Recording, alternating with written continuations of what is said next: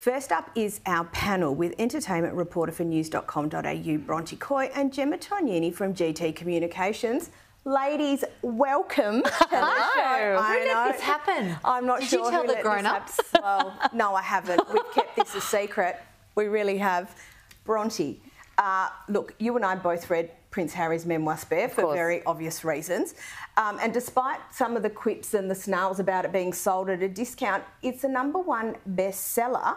Love or loathe the Sussexes, there's still plenty of interest, isn't there? Absolutely. We're all still watching. We wanted to read the book, eh, whether you love them or loathe them, as you said, because we were getting such a rare look into the palace dramas direct from a source. And that's what we're still getting from Harry and Meghan. And while there is clearly a deep Sussex fatigue that is setting in, even among people that are big fans, Sussex there, it's, fatigue, it's love it. happening. It's definitely happening. But in a lot of ways, kind of like a train wreck, you really still can't look away because there there has been this kind of circus around them. But my my concern for them, if I if I have much of it, is is really the fact that it's not a very long term plan. That they burn so bright and so fast with their with their you know royal uh, been a bit of secrets and. It's been a bit of yeah. Well, it's only been a few years. It's where does it go from here? What is that as a long term strategy? So we're interested, but how long can they grip us for? Yeah. And with what?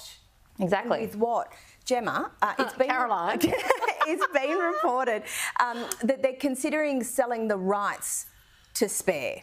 Well- right now, but does a number one bestseller translate into a blockbuster? No, it doesn't. Not necessarily. And just to pick up what Bronte said about um, the fact that you know we have this voracious appetite, and I hate myself for it. I hate myself for knowing what's happening, what they did with Lilibet's birthday and the other kid Archie's birthday, and I hate myself for knowing things about the Kardashians. But that's what happens to us normally mm. sane people. And you've got this bestseller, but I would also argue that it doesn't even indicate that they're popular. There's hate purchases in there. I know people who are like, I can't stand it, but I have to read it. And so translating into a, a bestseller necessarily is not is not. I, I don't necessarily think it's going to be. Sorry, a blockbuster depends on who produces it. Hmm. Depends on what kind of scripting there is around Cast. it, casting, production, marketing, all of that thing. I mean, for example, did you read the, Where the Crawdad Sings? Bestseller. A terrible movie. I actually did, and I hated the movie. So there you go. I was about to terrible say. movie. I also didn't hate. I didn't love the book either. I thought it was really twee, but that's beside the point. Case in point, I don't think it's going to be necessarily a a blockbuster, but I so agree with the Sussex fatigue. But then I'm like an addict. I can't stop.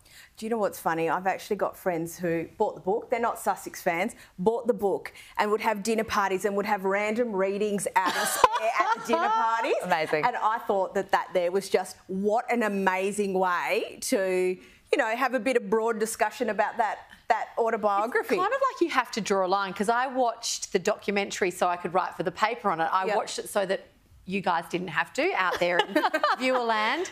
And, it, God's and work. it was to your point about do I have sympathy? You know, sim- what sympathy do I have for them? A little bit for Harry because he's clearly a broken man child. And at what point does he actually get to have some kind of closure and deal with his clearly Issues. oh, issues, demons, all Yeah. that sort of stuff? He's just an angry little turd throwing pot shots at everyone. This is true, but it has been quite a while since he's moved to the US. Yes. He wants to ditch this royal in exile moniker. Fair enough. Mm. But how do you do away with that narrative when it's your connection to the royal family which gives you your relevance? Well, this is exactly the problem. And I have actually thought about this very specifically over the last six months. Every time we sit here and we're thinking, what are they doing and what advice are they getting that this is still happening? And I thought, okay. If I had my way, if I was in charge of Brand Sussex, what would we have done? And I was trying to think, and I guess what the expectation was is that they'd come straight out the gates, and of course COVID hit right after, so that's out, that is out of their control. But right out the gates, some high-profile speaking engagements, kind of follow the Obama model in that way, um, make it make make their influence and power known in that way, while drip feeding information about their time in the royal family, so that that intrigue stays there. I'm thinking that would keep us captivated, but also it's showing a skill set and it's creating a brand. Whereas now, as you said. Their link is to the royals. The royals aren't even speaking to them. So where do we go from here? They've got no new. There's no new content. it's run out. And the the strategy that is a brilliant strategy. You want to come work for us, by the way? Just came not up with even it. Kidding, not even kidding. We'll ta- take that offline. But um, the, the, they have to have like the speaking engagement stuff and the podcast stuff, like being dumped. It speaks to the fact that there's a lack of substance there, right? So I have, as you probably both have, been in the room with very, very highly billed speakers who are fundamentally disappointing because whether their lives, whether they've been in media, whether they've been in other places where their lives have been scripted mm. to within an inch of their lives and they can't actually communicate or they don't they don't have mm. a personality, they don't have a character. I don't know that I would I don't know that I would be that thrilled to hear what he has to say. But doesn't it all come back to authenticity? Sure, 100%. So, I don't think people are buying that Harry is the like the real house husband of Montecito, right? I just don't think that they are, um, and hence the moniker because he's he's not in the UK. Doesn't even have a residence in the UK. He's been ditched. He's kicked out of Frogmore Cottage. He has been kicked out of Frogmore Cottage. Um, how do you, how do you shake that? Well, it's difficult when you're living in a bubble within the, one of the most you know, superficial industries on the planet. He's living mm. in, in LA, in the heart of the entertainment. He's married to an actor. And, you know, he doesn't. The problem with authenticity is you've got to know who you are to mm. be authentic. And this poor kid doesn't. Kid, he's what, nearly 40? Yeah. It's my elder statesperson. right? I'm 50 now. Did you guys know that? so he doesn't know who he is. Yeah. yeah. And how do you, how do you communicate genuine you know, an authenticity to your brand and to the things that you do when you fundamentally don't know it yourself. That is a brilliant point. Can I just say that it really much. goes you to the heart back. of sorry, sorry, Carol. I right. simply must say that is exactly what my takeaway from the book was. Yeah. Is simply you do feel sorry for him. Yep. Separating it from the circus with Meghan. it, you do feel so sorry for him because he's a boy who just never really grew up around people that he felt he could be himself around. Trust. He was mm. so damaged by his mother's death, and you feel sad for him because doesn't know who he is. 100%. But then I go, William turned out all right? And he's not the first person in the world to have childhood trauma. Yeah, I mean, I'm just. I mean, that's a tangent for another day. Sorry, Caroline. But, but no, no, no, no, no. That's totally because we're going to move on to uh, now William and Kate, um, and it's still on the branding yeah. part of it. At the Scottish coronation, King Charles really made sure that William and Kate were the centre of yeah. that coronation.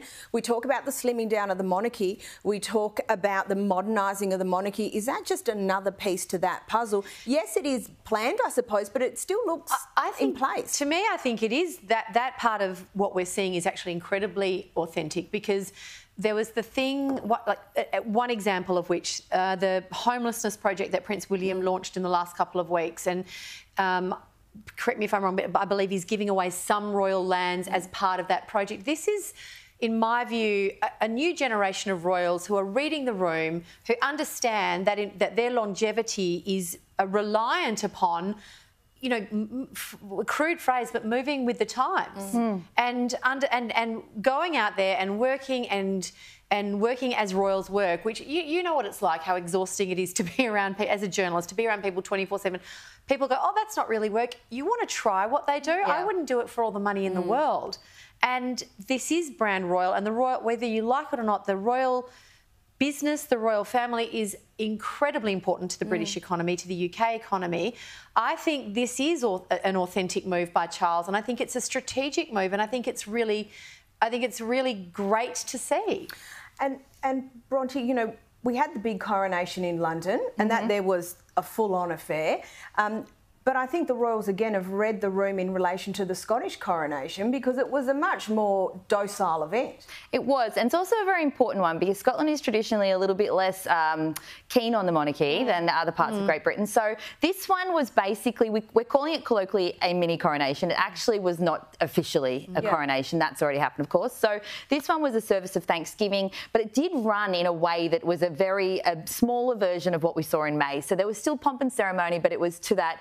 A bit more of a localised effect. So we had the procession. There was only about a thousand people in that. I say only. yeah. It's still a crowd, isn't it? Yeah. Wedding. Yeah, yeah. A, yeah exactly. Just a, just a big wedding. So uh, there was a royal procession where uh, Kate and William travelled, as we talked about, um, with Charles and Camilla. They had the service of Thanksgiving where Charles and Camilla received the honours of Scotland, which includes the crown, the sceptre, and a sword. Mm. Fun fact: they used a new sword that had ah. never been used. It was named after Elizabeth. It's do you name a sword? sword? Apparently, you do.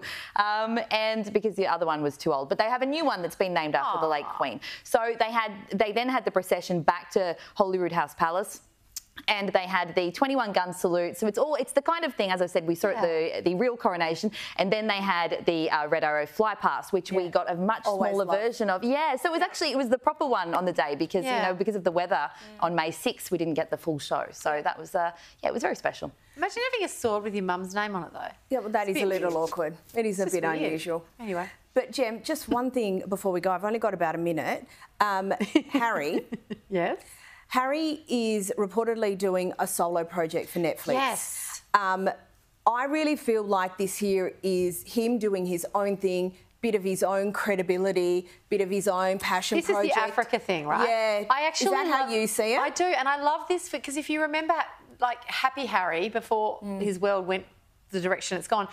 He, he was so genuinely connected to Africa, and I think he mentioned this in the documentary as well that he felt safe there. He grew up there. They there was a healing place for him, and of Mm. course his relationship with Chelsy Davy played out in Africa. He all, that was the place that he went to to, to feel, feel fulfilled. I think this is brilliant. I think if anything can set him, don't know about them, but him on a course to writing himself and Rebuild, perha- perhaps yeah. The authenticity that we talked about. is. Yeah. This is the vehicle. It's not some confected, contrived thing on Spotify where he interviews Vladimir Putin about his childhood. That would be very unusual. Anyway, ladies, thank you so much. That's a note to end on. Bronte Coy and Gemma Tognini, thank you so much for joining us.